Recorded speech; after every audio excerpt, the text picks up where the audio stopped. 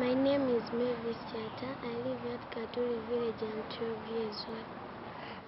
I, I have two brothers and haven't have a sister because I'm the only sister and I live with my aunt as my guardian. My favorite fa- subject at school are biology, mathematics. Sometimes I get B or C. I applied for the scholarship because my parents cannot afford to pay for me school fees and boarding fees. I feel so happy and I am so grateful because I'm in the group of the scholarship. It is good for girls to go to school because it, when you teach a girl child, you teach the whole world.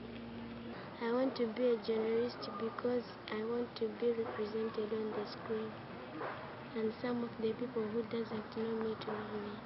I wish a long-lasting life to the scholarship for the people who are paying for me school fees and boarding fees, and they are they are going to provide something that I need in my life. And also, I pray for God so that I can give Him blessings and a good life.